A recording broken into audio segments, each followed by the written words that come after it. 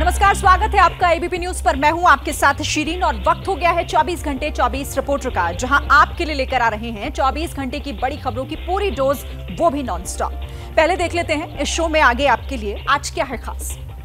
केंद्रीय कैबिनेट ने one nation one election पर हाई लेवल कमेटी की रिपोर्ट को दी मंजूरी। राहुल गांधी पर आपत्तिजनक बयान देने वाले बीजेपी नेताओं के खिलाफ सड़क पर उतरी कांग्रेस।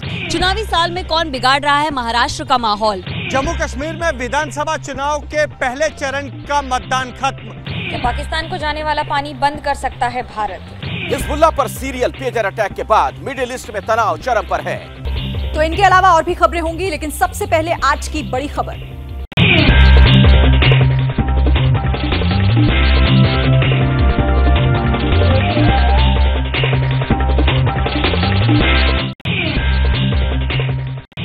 केंद्रीय कैबिनेट ने वन नेशन, वन इलेक्शन पर हाई लेवल कमेटी की रिपोर्ट को दी मंजूरी। संसद के आगामी सत्र में सरकार ला सकती है bill. One nation, one election पर मोदी सरकार ने लोकसभा चुनाव से पहले पूर्व राष्ट्रपति रामनाथ कोविंद की अगुवाई में जो कमेटी बनाई थी, उसके प्रस्तावों को केंद्रीय कैबिनेट ने मंजूर कर लिया है।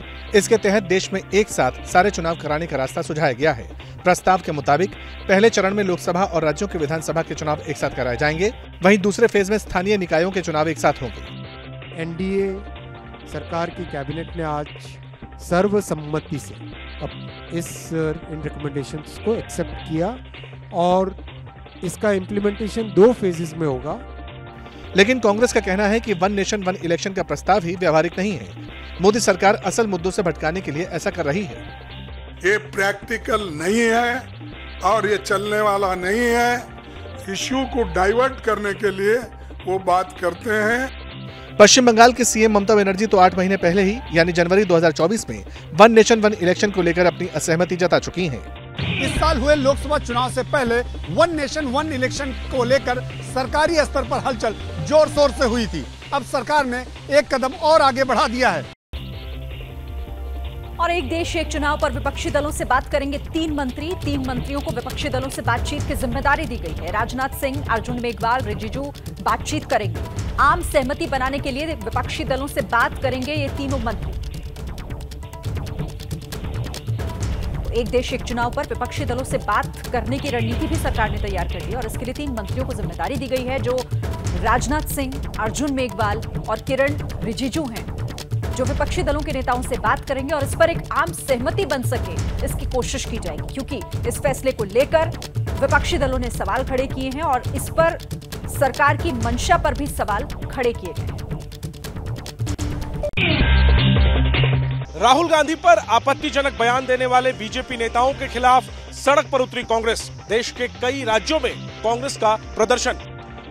राहुल गांधी पर विवादित बयान देने वाले एनडीए नेताओं के खिलाफ एक्शन की मांग को लेकर कांग्रेस वर्कर सड़क पर उतरे। देश के कई शहरों में कांग्रेस कार्यकर्ताओं ने प्रदर्शन कर अपने गुस्से का इजहार किया। दिल्ली में कांग्रेस कार्यकर्ताओं ने बीजेपी हेडक्वार्टर के सामने हंगामा करने की कोशिश की।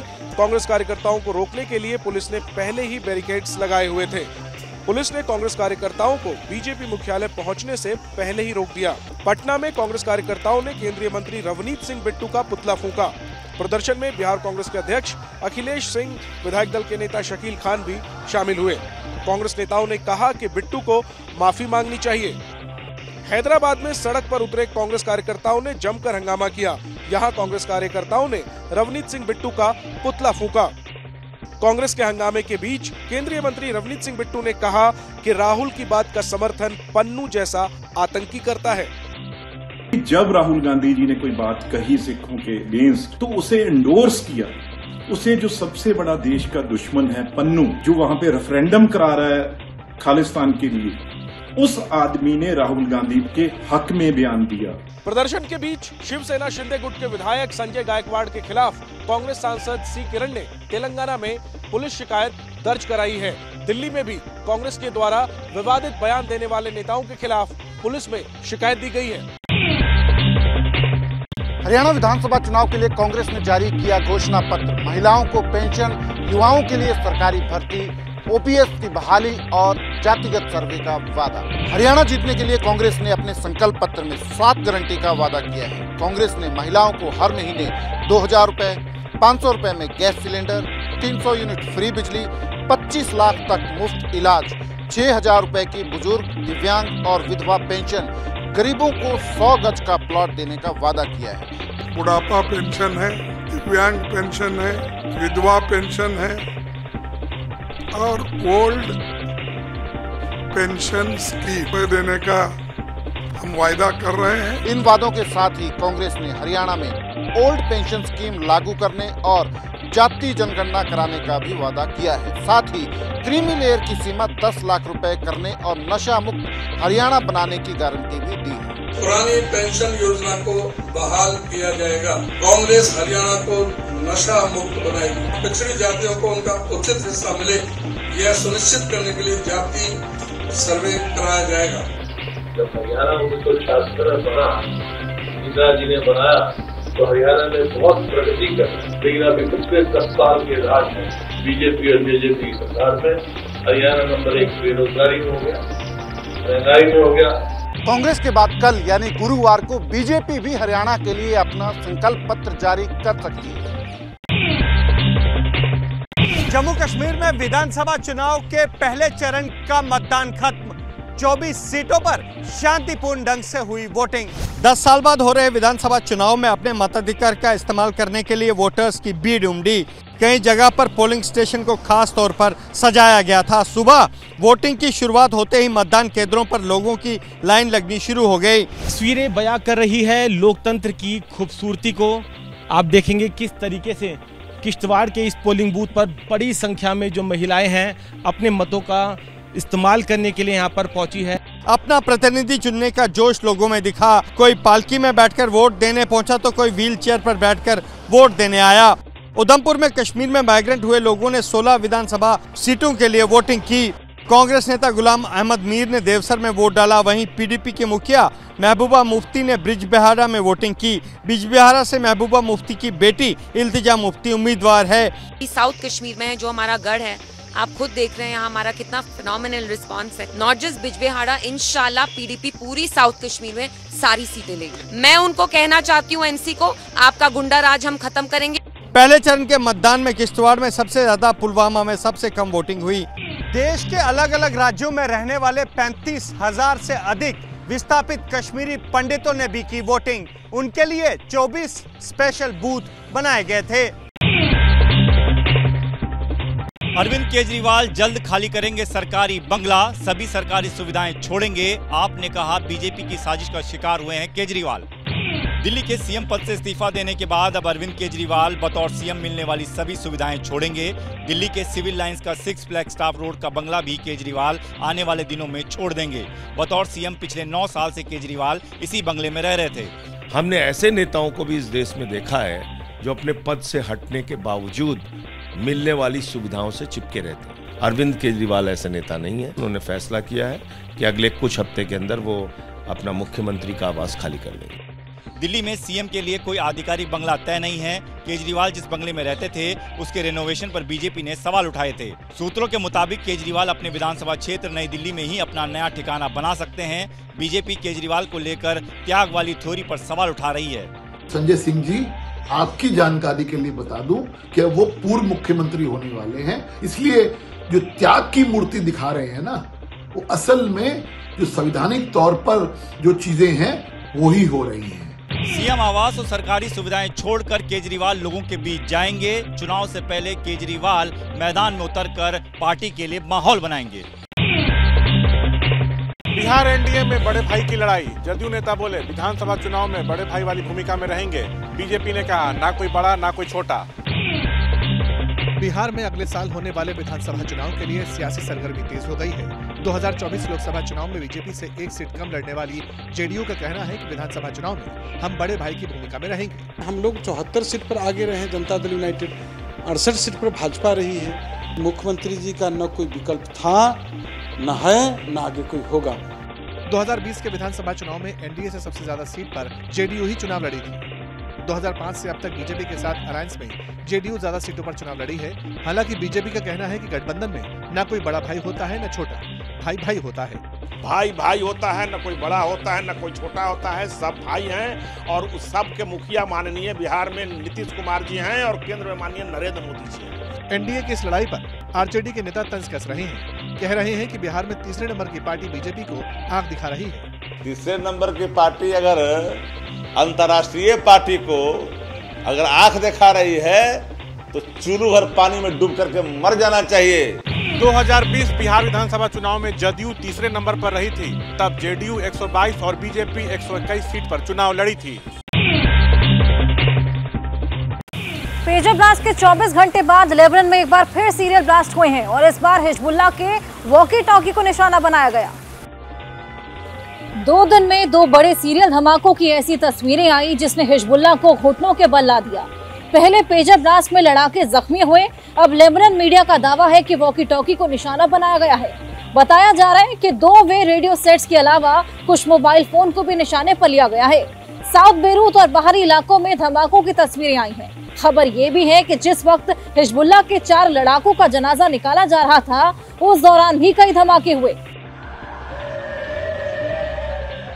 ये लेबनन के अस्पताल की तस्वीरें हैं। पाव रखने तक की जगह नहीं 24 घंटे से इसी तरह इमरजेंसी में लोग आ रहे हैं। किसी का हाथ टूट गया तो किसी का पैर जख्मी हो गया। बताया जा रहा है कि 500 से ज़्यादा लोगों को दिखाई देना बंद हो गया। हिजबुल्ला के खिलाफ ये सोचा समझा अटैक है। लेकिन आमतौर पर ऐसा बहुत कम होता है जब अमेरिका को कॉन्फिडेंस में लिए इसराइल किसी हमले को अंजाम दे। मगर अमेरिका ने बताया कि उसे इस हमले की कोई जानकारी नहीं थी। कहा जा रहा है कि हिजबुल्ला ने 5000 पेजर का ऑर्डर दिया था, लेकिन किसी को नहीं पता था कि सप्लाई चेन पर ही हमला हो जाएगा। पेजर हमले के बाद हिजबुल्ला के लड़ाके दहशत में हैं। हिजबुल्ला के सदस्यों ने अपने पास से पेजर को दूर कर दिया है। डर का आलम ये कि लोग फ़ोन नहीं रिसीव कर रहे। इस बीच हिजबुल्ला की मदद के लिए इराक आगे आया, घायल लड़ाकों के लिए फ़ौरन मेडिकल सप्लाई और बाकी मदद भेज दी। हिजबुल्ला के लड़ाके इसराइली ट्रैकिंग सिस्टम से बचने के लिए मोबाइल फ़ोन के बजाय पेजर का इस्तेमाल करते थे, लेकिन ये भी उन्हें सुरक्षित नहीं रख पाया। हिजबुल्ला पर सीरियल पेजर अटैक के बाद मिडिल ईस्ट में तनाव चरम पर है। इस बारे में हिजबुल्ला का कहना है कि इसराइल को इसकी बड़ी कीमत चुकानी पड़ेगी। इसराइल ने ऐसे में आपातकालीन बैठक बुलाई है। इन तस्वीरों को जिसने भी देखा, वो दहल गया, क्योंकि किसी ने सोचा नहीं था कि एक छोटा सा पेजर भी मौत का सामान बन सकता है। हर बीते लम्हे के साथ हिजबुल्ला के घायल लड़ाकों की संख्या बढ़ रही है। मौत का आंकड़ा भी एक दर्जन हो चुका है। कई लोग ऐसे हैं जो अपनी आँखें गंवा चुके हैं। सवाल है कि हमले को अंजाम कैसे दिया गया? इसे लेकर कई तरह की थ्योरी सामने आई। लेकिन न्यूयॉर्क टाइम्स की रिपोर्ट्स के मुताबिक इसराइल ने इन पेजर्स में एक्सप्लोसिव छिपा दिया था। अल जजीरा चैनल 13 और यूएस टुडे की रिपोर्ट के मुताबिक हर पेजर में करीब 20 ग्राम विस्फोटक फिट किया गया। मंगलवार दोपहर साढ़े तीन बजे पेजर्स पर एक मैसेज आया और फिर इनमें सिलसिलेवार धमाके होने लगे। साइबर सिक्योरिटी एक्सपर्ट्स ने माना है कि ये धमाके मॉडिफाइड डिवाइसेस की वजह से हुए। सवाल यह है कि जो पेजर लेबनान जाने थे, उन पर इसराइल की नज़र कैसे पड़ी? इसे लेकर कहा जा रहा है कि ये पेजर मेड इन ताइवान ज़रूर है, लेकिन इन्हें बुडापेस्ट की एक कंपनी को आउटसोर्स किया गया था, जिसने बाद में इसकी शिपमेंट लेबनान की। लेकिन चूँकि ऐसे डिवाइस सीधे तौर पर इंपोर्ट नहीं होते, इसीलिए इसे एक नजदीकी पोर्ट पर रोका गया। लेबनान की एजेंसियों को शक है कि इसी दौरान मोसाद ने पेजर्स में विस्फोटक लगाए थे। जो खबरें आ रही है उसके मुताबिक पीईटीएन नाम का विस्फोटक इस पेजर में लगाया गया था। हालाँकि तमाम रिपोर्ट्स के बावजूद इसराइल ने अभी तक इसकी ज़िम्मेदारी नहीं ली है। हिजबुल्ला के खिलाफ हुए हमले पर आग बबूला हुआ ईरान, कहा इसराइल ने एक बार फिर नरसंहार किया है। ईरान का ये बयान ऐसे वक्त पर आया है जब लेबनान में शोक की लहर है। हिजबुल्ला के सांसद अली अम्मार के बेटे की मैयत में शामिल होने के लिए कई लोग पहुँचे, क्योंकि वो भी पेजर अटैक में मारा गया। खबर तो ये भी आई कि लेबनान में ईरान की राजदूत की एक आँख खराब हो गई। दूसरी तरफ़ हिजबुल्ला ने पेजर अटैक में मारे गए अपने लड़ाकों की तस्वीरें जारी कर दी। हिजबुल्ला कमांडर ने कहा कि इसराइल ने पेजर में हाई वोल्टेज वेव्स भेजी थी, जिसकी वजह से अंदर की किट और बैटरी में धमाका हो गया। ये इसराइल का लेबनान और हिजबुल्ला के खिलाफ नए किस्म का हमला है और हम इसका सही वक्त पर माकूल तरीके से जवाब देंगे। ये हमारे नागरिकों के खिलाफ जघन्य अपराध है। हम इस हमले के लिए इजरायली सेना को जिम्मेदार ठहराते हैं और हमें लगता है कि बदले की घड़ी जल्द आने वाली है। ईरान और हिजबुल्ला की तरफ़ से जिस वक्त धमकी दी जा रही थी, तब रूस की सिक्योरिटी काउंसिल के लीडर सरगेई शेगू तेहरान में थे। वहाँ सरप्राइज़ विज़िट पर पहुँचे थे। इधर, अमेरिका ने ईरान से कहा कि ऐसे हालात में संयम बरते, मगर दूसरी तरफ़ रूस ने टकराव की चिंगारी को भड़का दिया। रूस के विदेश मंत्रालय का बयान आया की इस मामले में विदेशी एंगल की अच्छी तरह जाँच होनी चाहिए। 2018 में राइज एंड किल नाम की एक किताब आई थी। उसके मुताबिक इसराइल की खुफिया एजेंसी अपने दुश्मन को टारगेट करने के लिए उनके पर्सनल मोबाइल फ़ोन में पहले भी विस्फोटक लगा चुका है। दुनिया के सबसे बड़े सीरियल ब्लास्ट के बीच फोकस उन कंपनियों पर भी है जिन्होंने लेबनान में पेजर सप्लाई किए थे। पता चला है कि हंगरी वाले ऑफ़िस में कोई मौजूद नहीं था।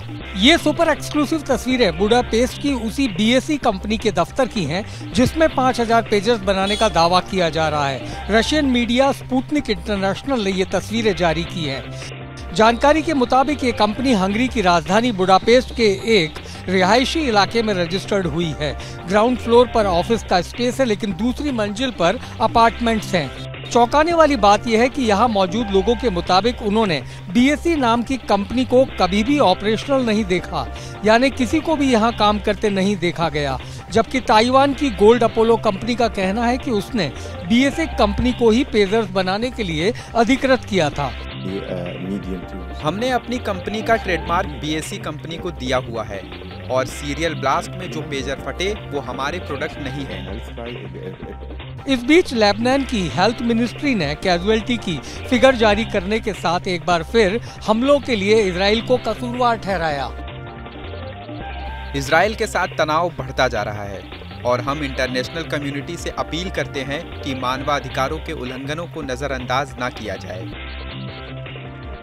आज के जमाने में कोई पेजर के इस्तेमाल की सोच भी नहीं सकता, लेकिन आप जानकर हैरान हो जाएँगे, मिडिल ईस्ट और नॉर्थ अमेरिका के साथ एशिया के कई देशों में अब भी पेजर सिस्टम एक्टिव है। पेजर अटैक के बीच इसराइल और हिजबुल्ला के बीच हमलों का दौर जारी है। इसराइल ने हिजबुल्ला के कई ठिकानों पर हमला बोला है। और इसकी तस्वीरें इजरायली डिफेंस फोर्स ने जारी भी की। बताया गया कि साउथ लेबनान के कई सीक्रेट बेस को मिट्टी में मिला दिया गया। अब की बार मजदल सलेम एरिया में बारूद की बौछार की गई। कहा गया कि पाँच और ठिकानों को समतल कर दिया। इसमें हिजबुल्ला के मिलिट्री लोकेशन के अलावा हथियार डिपो भी शामिल था।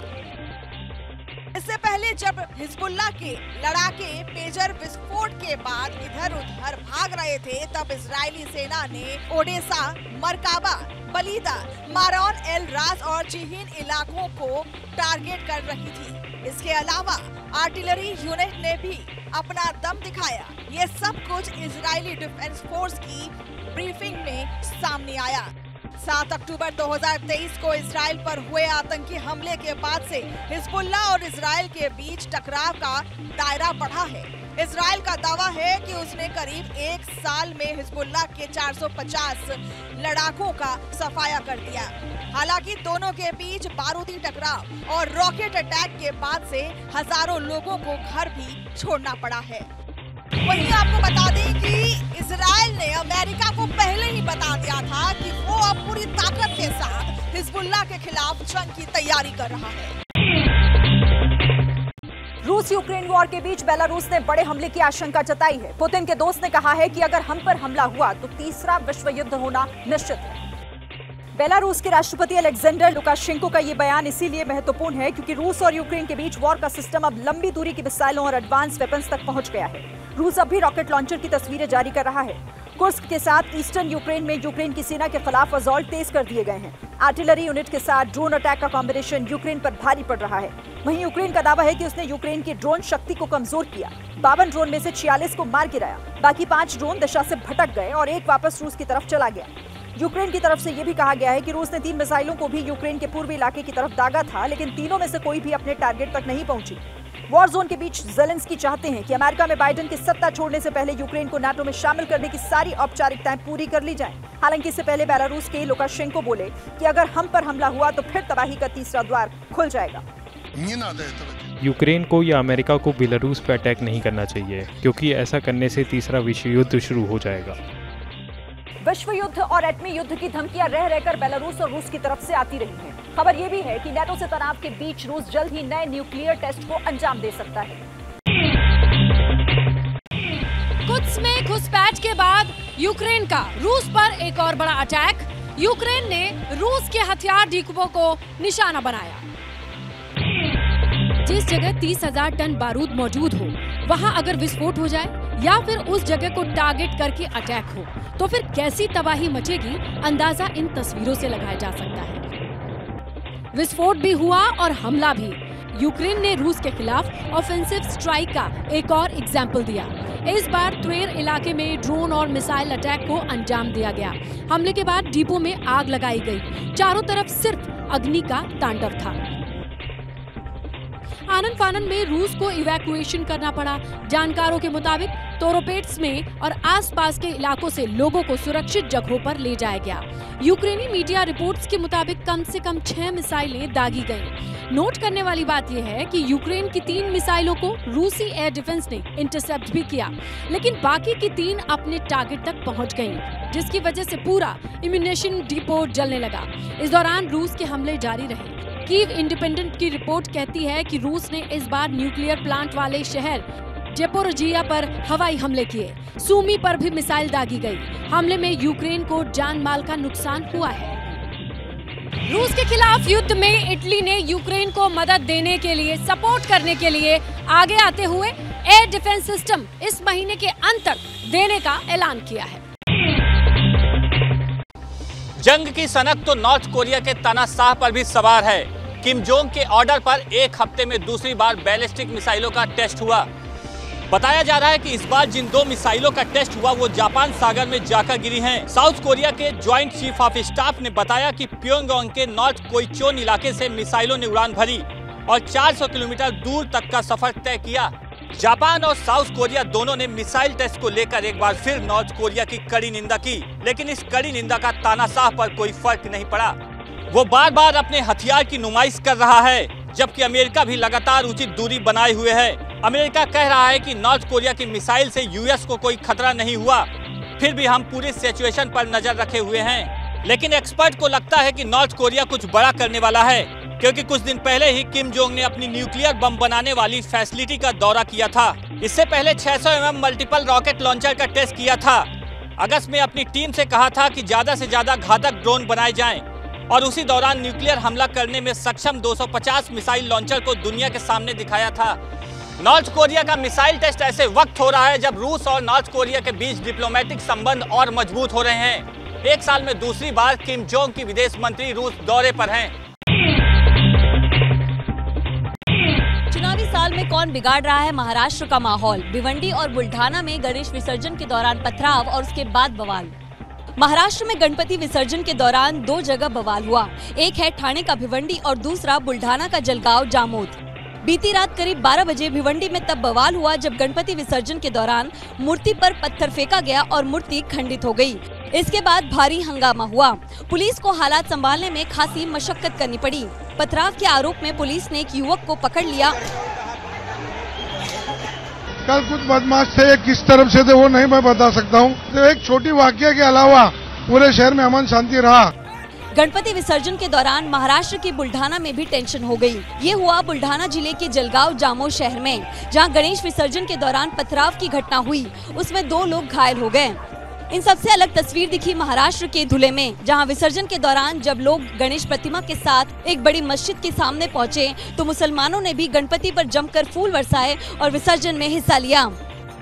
महाराष्ट्र में ये चुनावी साल है। ऐसे में ऐसी आशंका जताई जा रही है कि छोटे छोटे बवाल कहीं कोई राजनीतिक साजिश तो नहीं। भिवंडी और बुल्ढाना की घटना क्या कोई राजनीतिक प्रयोग है? केंद्र और राज्य सरकार से जुड़े हुए लोग इसे विपक्ष की साजिश बता रहे हैं। मारधाड़ हुई, पत्थर चले, लाठी डंडे चले, पुलिस भीड़ को खदेड़ती रही। सड़क पर अराजकता सा आलम रहा। ये तस्वीरें महाराष्ट्र में थाने के भिवंडी की हैं, जो गणपति विसर्जन के दौरान हुए बवाल के बाद किसी जंग के मैदान सा नज़र आया। पुलिस अभी जाँच कर रही है कि इस हंगामे के पीछे कौन कौन है, लेकिन महाराष्ट्र में सत्ताधारी शिंदे वाली शिवसेना इस बवाल का ठीकरा विपक्ष पर फोड़ रही है। भिवंडी और बुल्ढाना जैसे ठिकानों पे गणपति विसर्जन के समय पे हमला करने का प्रयास किया गया है। यह जानबूझ करके एनडीए के नेताओं की तरफ़ से मुस्लिम भावनाओं को भड़काने के लिए इस प्रकार का काम किया जा रहा है। तो जिनने ये घटना की है वो तो कट्टरपंथी हैं। जानबूझ के किया जा रहा है क्योंकि विधानसभा का चुनाव ये नहीं करेंगे तो वो जीतेंगे नहीं। महाराष्ट्र में आने वाले दिनों में और दंगे होंगे। हिंदू मुसलमानों को उचकाया जाएगा। मतों का ध्रुवीकरण नहीं करेंगे तो इनको 125 के अंदर समेटना पड़ेगा। शपथ लेने वाले केंद्रीय मंत्री गिरिराज सिंह तो दो कदम आगे बढ़ गए। उन्होंने सीधे मुसलमानों को जिम्मेदार ठहरा दिया। आज देश के अंदर जहाँ जहाँ जनसंख्या मुसलमानों की बढ़ गई है वहाँ वहाँ बुलडाना और भिवंडी बना हुआ है। भिवंडी बवाल करने के मामले में पुलिस ने कुछ लोगों को हिरासत में लिया है। इनसे पूछताछ कर पुलिस बवाल करने वाले असली गुनहगारों को दबोचने की कार्रवाई करेगी। भिवंडी में कल गणपति उत्सव में बवाल हुआ। और आज ईद मिलादुल भी जुलूस में हुआ हंगामा। गरिमत रही कि पुलिस ने वक्त पर हालात कंट्रोल कर लिए।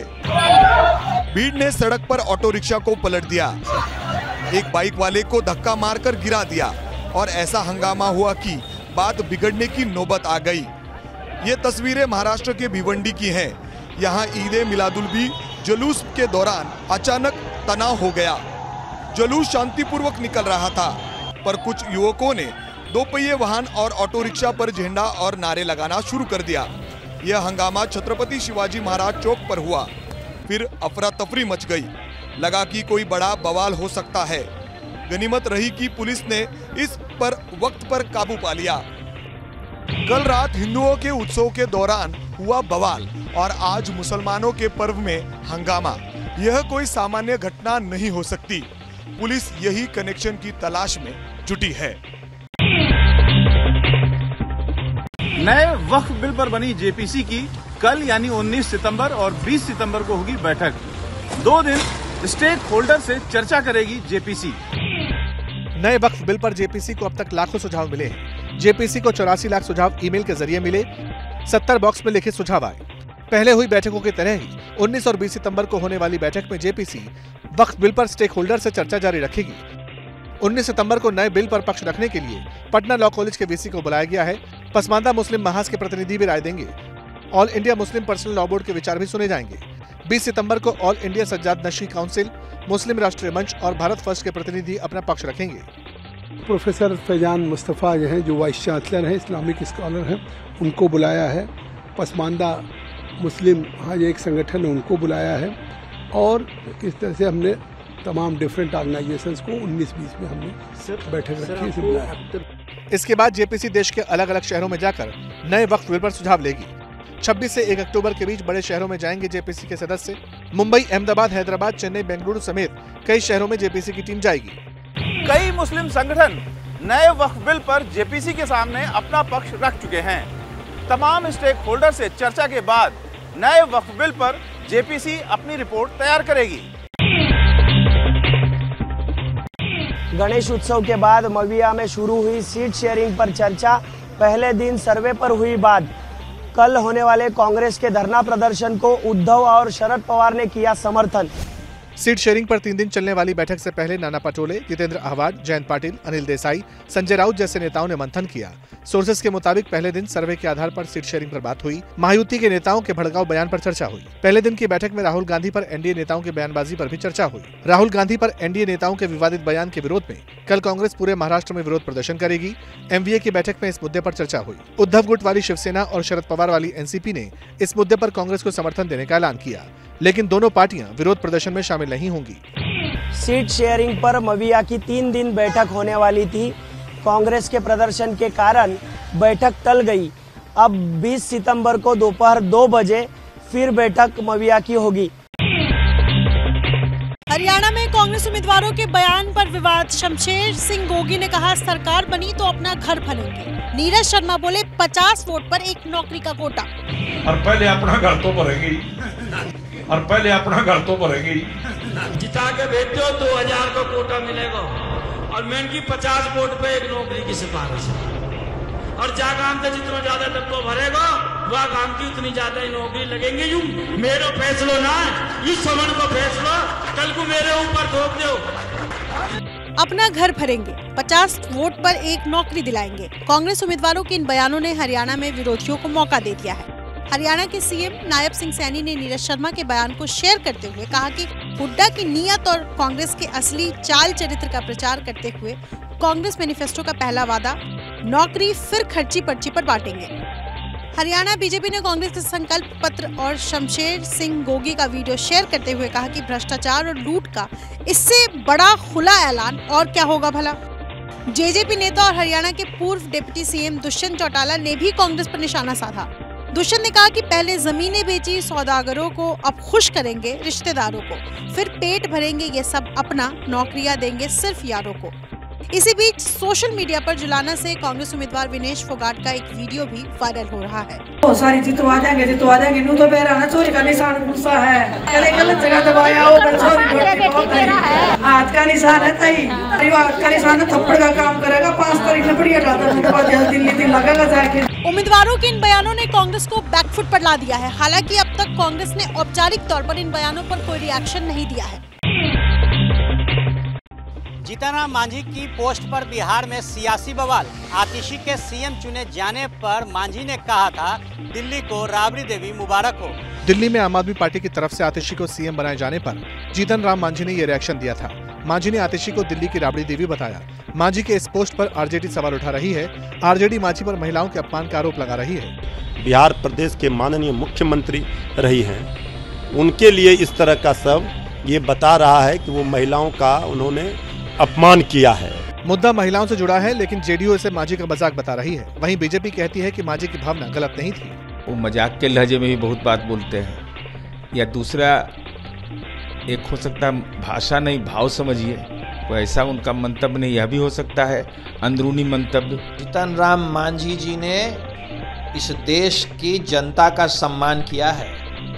जीतन राम मांझी जी ने इस देश में लोकतंत्र को मज़बूत करने के लिए एक सवाल उठाया है। जीतन राम मांझी बिहार के पूर्व सीएम रहे हैं। राबड़ी सरकार में मंत्री भी रहे हैं। इसलिए आरजेडी सवाल पूछ रही है। आखिर इतने वरिष्ठ नेता ऐसा बयान कैसे दे सकता है? पहले चरण के मतदान के बाद जम्मू कश्मीर में बड़ी सियासी सरगर्मियाँ। इंजीनियर रशीद ने कहा, सबके लिए खुले हैं मेरे दरवाजे। उमर अब्दुल्ला बोले, बीजेपी को फ़ायदा पहुँचा रहे हैं, रशीद। इंजीनियर रशीद को जब से चुनाव प्रचार के लिए कोर्ट से जमानत मिली है जम्मू कश्मीर में सियासी तपिश बढ़ गई है। प्रचार में जुटे इंजीनियर रशीद कह रहे हैं कि हमारे बगैर कोई सरकार नहीं बनेगी। मैं इतना गिर सकता हूँ, वो जो कह रहे हैं वो खुद तो यहाँ मज़े ले रही थी वो एजेंट है बीजेपी की। अगर ऐसी परिस्थितियाँ आती हैं, मैंने ज़िंदगी में एक चीज़ की है, मैंने रेजिस्टेंस बहुत की है लड़ा बहुत लेकिन मेरे दरवाजे के भी किसी के लिए बंद नहीं किए। देखते हैं उस वक्त क्या माहौल हो रहा है इंजीनियर रशीद लोकसभा चुनाव में उमर अब्दुल्ला जैसे दिग्गज को धूल चटा चुके हैं। अब उनके प्रचार में उतरने के बाद घाटी में सियासी गणित बदलने लगा है। इसीलिए रशीद अब नेशनल कॉन्फ्रेंस के निशाने पर है। तो अगर सारे दरवाजे खुल रहे हैं उसका मतलब है कि बीजेपी के लिए भी दरवाज़ा खुल रहा है। यहाँ वोट तकसीम किए जा रहे हैं बीजेपी को फ़ायदा पहुँचाने के लिए। जम्मू में बीजेपी मज़बूत है वही कश्मीर में कांग्रेस एनसी गठबंधन की पीडीपी के साथ टक्कर है। लेकिन इंजीनियर रशीद के मैदान में आने से ज़मीन पर समीकरण बदल रहा है। लैंड फॉर जॉब स्कैम में लालू प्रसाद यादव और तेजस्वी यादव के बाद अब बढ़ी तेज प्रताप यादव की भी मुश्किलें। राउज एवेन्यू कोर्ट ने सभी आरोपियों को 7 अक्टूबर को अदालत में पेश होने के लिए कहा।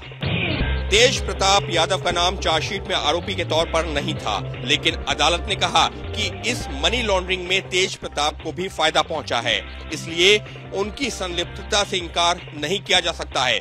तेज प्रताप भी ए के इन्फोसिस लिमिटेड के निदेशक थे। लालू प्रसाद यादव और उनका पूरा का पूरा परिवार सत्ता का उपयोग सिर्फ़ और सिर्फ़ भ्रष्टाचार के लिए करता है। आज तो कोर्ट ने भी इस बात को मान लिया। मनी लॉन्ड्रिंग और लैंड फॉर जॉब जैसे मामलों में मुकदमा चलाने के लिए पर्याप्त प्रथम दृष्टिया सबूत हैं।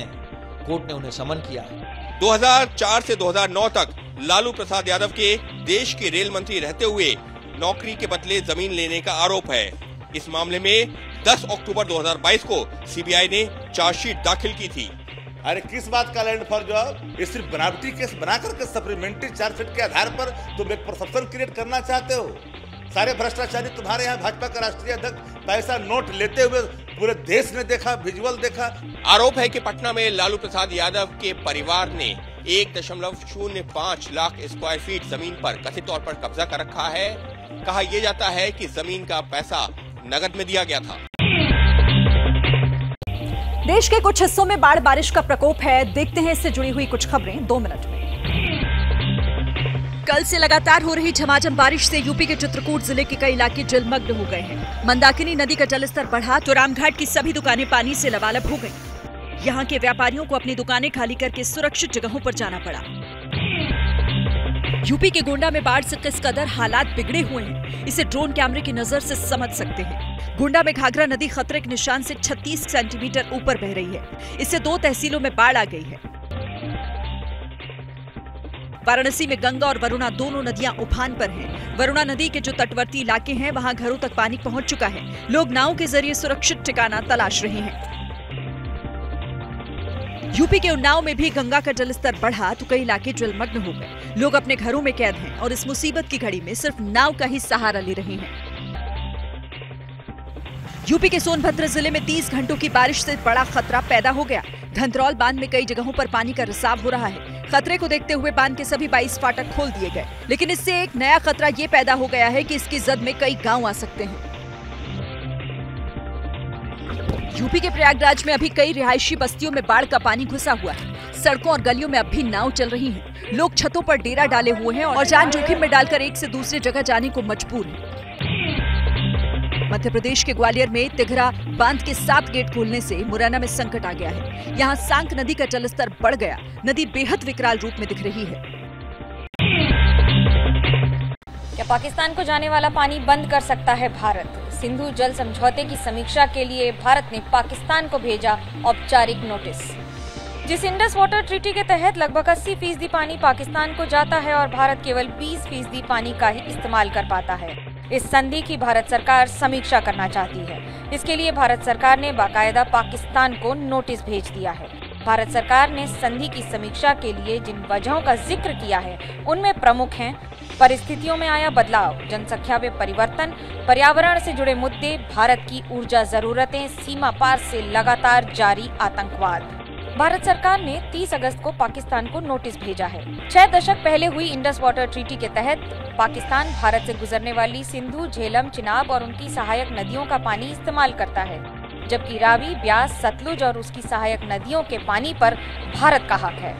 भारत और पाकिस्तान के बीच सिंधु जल नदी संधि के लिए नौ वर्षों तक बातचीत चली थी। उसके बाद सितंबर 1960 में इस पर हस्ताक्षर भी हुए थे। हालाँकि ये हस्ताक्षर में वर्ल्ड बैंक भी मौजूद था। यूरोप से लेकर अमेरिका तक कई मुल्कों में कुदरत के कहर की अलग अलग तस्वीरें सामने आई। यूरोप में बाढ़ तो साउथ अमेरिका में आग ने तबाही मचाई। इन सब के बीच मेक्सिको से भी बाढ़ की डराने वाली तस्वीरें सामने आई। यहाँ कोआलको इलाके में भारी बारिश के बाद जीवन अस्त व्यस्त हो गया। इतना पानी भरा कि बड़ी बड़ी कारें सड़कों पर तैरती दिखाई दी। बारिश के बाद मेक्सिको के नोकेलपन इलाके में लैंडस्लाइड भी हुई, जिसके चलते छह लोगों की जान चली गई। सेंट्रल यूरोप में भी बाढ़ का कहर जारी है। पोलैंड से लेकर रोमानिया और स्लोवाकिया तक बाढ़ ने बर्बादी मचाई। बोरिस तूफ़ान के बाद अब दानुबे नदी ओवरफ्लो हो चुकी है। रोमानिया, पोलैंड, ऑस्ट्रेलिया और चेक रिपब्लिक में बाढ़ बारिश से मौत का आंकड़ा बीस को पार कर चुका है। अब भी कई लोग लापता बताए जा रहे हैं। बाढ़ की वजह से भारत के पड़ोसी देश म्यांमार में भी भारी तबाही मची है। यूएन ऑफ़िस के मुताबिक सैलाब की वजह से कम से कम 226 लोगों की मौत हो गई। 77 अभी लापता हैं। ढाई लाख हेक्टेयर से ज़्यादा का इलाका पानी में डूब चुका है। अथॉरिटीज का कहना है कि बाढ़ की वजह से छह लाख तीस हज़ार से ज़्यादा लोग प्रभावित हुए हैं। पानी के साथ आग ने भी तबाही मचाई। साउथ अमेरिका के ब्राज़ील और इक्वाडोर में जंगल की आग से काफ़ी नुकसान हुआ। हज़ारों हेक्टेयर जंगल जलकर खाक हो चुके हैं। अब अधिकारियों का कहना है कि क्लाइमेट टेररिज्म यानी पर्यावरण आतंकवाद की वजह से जंगल जल रहे हैं। बाढ़ और बारिश की वजह से अब तक सेंट्रल यूरोप में नौ लाख इकतीस हज़ार करोड़ रुपए का नुकसान आका जा चुका है। एक्सपर्ट्स का दावा है कि जंगल की आग ने भी सिस्टम को काफ़ी पीछे धकेल दिया है। केंद्रीय कैबिनेट से मंजूर हुआ नया मून मिशन चंद्रयान फोर। जिसका मॉडल बेंगलुरु में आज से शुरू हुए स्पेस एक्सपो में भी रखा गया है। चंद्रयान फोर का ये है वो मॉडल, जिसे आज से शुरू हुए तीन दिन के बेंगलुरु स्पेस एक्सपो में रखा गया। आज ही केंद्रीय कैबिनेट ने नए चंद्र अभियान, चंद्रयान फोर पर मंजूरी की मुहर लगाई है। इस मिशन का मकसद भारतीय अंतरिक्ष यात्रियों को चंद्रमा पर उतारने और और उन्हें सुरक्षित रूप से पृथ्वी पर वापस लाने के लिए ज़रूरी टेक्नोलॉजी विकास करना है। भारतीय अंतरिक्ष यात्रियों को साल 2040 तक चंद्रमा पर उतारने का लक्ष्य रखा गया है। सबसे आज बड़ा फैसला लिया गया कि चंद्रयान फोर मिशन को और एक्सपैंड किया गया, इसमें और बड़ा किया गया। इसमें एलिमेंट्स नए जोड़े गए। बेंगलुरु में जो एक्सपो शुरू हुआ है, उसमें भारतीय अंतरिक्ष स्टेशन का डिज़ाइन भी नुमाइश के लिए रखा गया है। अगर सब कुछ ठीक रहा तो 2030 के बाद इस स्पेस स्टेशन को अंतरिक्ष में स्थापित किया जाएगा। चंद्रयान फोर मिशन में टेक्नोलॉजी के लिए कुल 2000 करोड़ रुपए से ज़्यादा के खर्च का अनुमान लगाया गया है। वहीं स्वदेशी टेक्नोलॉजी पर ज़ोर दिया गया है। 24 घंटे 24 रिपोर्टर में आज के लिए फ़िलहाल इतना ही। कल रात नौ बजकर चालीस मिनट पर फिर हाजिर होंगे। तब तक देश और दुनिया की खबरों के अपडेट के लिए आप जुड़े रहिए एबीपी न्यूज़ के साथ।